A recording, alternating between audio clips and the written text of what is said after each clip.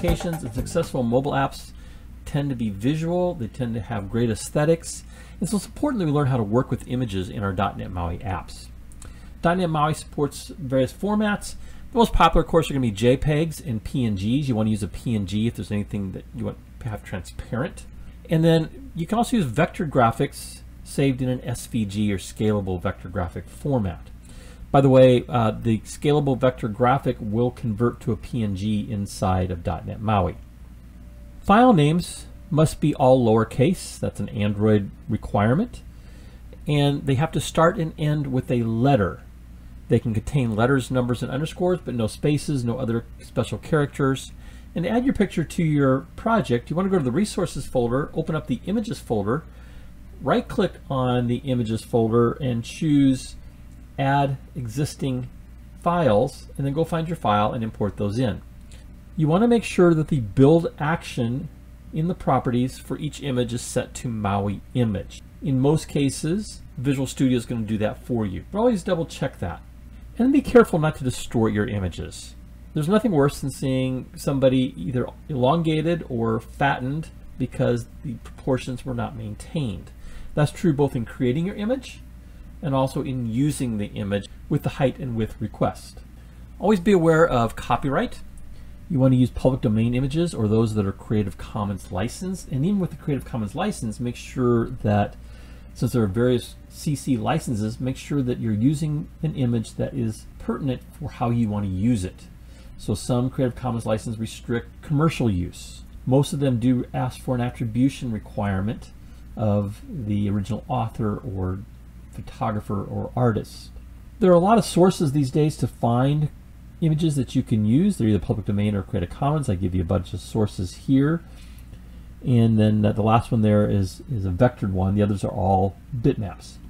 Again, pay attention to the license and the attribution requirements and you might need to go into Photoshop and add uh, some text as far as giving attribution or add that as a separate label. If you're using your own photographs and you take photographs of people, make sure you get a, a model release of the person that you're taking the picture of. And you can find model release forms on the internet. In the old days of Xamarin, and even if you've taken our Kotlin Android Studio course or our iOS Swift course, you're aware that we have, we've had to create different resolutions of images. So in Android, traditionally we've created five different resolutions and stored those in different folders called Drawable, Drawable HDPI, Drawable X HDPI, Drawable Double X HDPI, and Drawable Triple X HDPI. On the iOS side, we created three versions and they were named at 1x, at 2x, and at 3x. And on the Windows side, we also created three versions and named those dot scale scale dash 100, dot scale dash 200, and dot scale dash 400 at the end of each file name. Well, I'm happy to report that we no longer have to do that in .NET MAUI. We can just give the largest file size and it will resize the images to the platform and to the device that we are sending the app to. That makes life so much easier. But I want to demonstrate that size is really important because you want to make sure you're starting with a large size and scaling down and not something small and scaling up. Because if we go small and scale up, it's going to get very blurry and rasterized. So I built a little project in Visual Studio to demonstrate that. I'm in Visual Studio on the PC. I've created a project called Image Resolution Demo, and I brought in three different versions of a photo of Abraham Lincoln one is sized at a width of 100 and a height of 129. The next one is the same image, but it's 300 pixels wide by 387 high. And then finally, 600 pixels wide by 773 pixels high. I want to display those three different images, both at 300 device units wide and 100 device units wide. Let's take a look at the application. So here's the project running in a S, Samsung S20 emulator. The first image here is Lincoln at 300 pixels wide. Now I'm displaying it at 300 DIU or device independent units wide. Looks great. And then I scale it down to 100, still looks really good. So it scales down perfectly. Then I took the 100 pixel image and displayed it at 300 DIU. And notice how blurry and rasterize it is in comparison to the original at 300.